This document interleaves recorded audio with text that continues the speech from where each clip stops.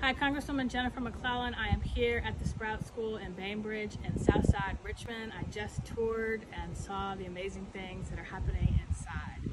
Uh, but I wanted to also talk about how on September 30th, the Child Care Stabilization funds from the American Rescue Plan are set to expire if we don't act in Congress.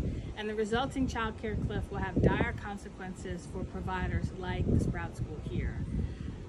3.2 million children nationwide will lose their child care spots.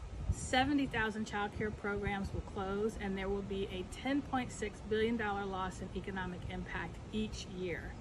In Virginia, that translates to over 88,000 children losing their spots at schools just like this, and nearly 1,400 child care programs that could close.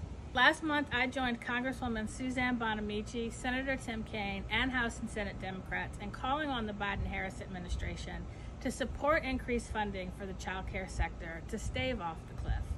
Meanwhile, House Republicans are proposing $4.8 billion in cuts to child care programs in this year's appropriations bills, including a $75 million cut to child care resources, particularly for low-income college students, and a $750 million cut to Head Start and Early Head Start funding.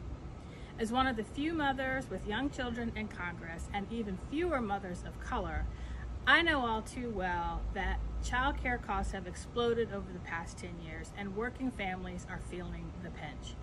More importantly, I understand the importance of child care and early childhood education, not only in helping parents work, but in laying a strong foundation for K-12 learning. I'm committed to doing all I can to provide relief for families from the child care crisis and to avoid the child care cliff. Stay tuned for updates as we return to Washington next week.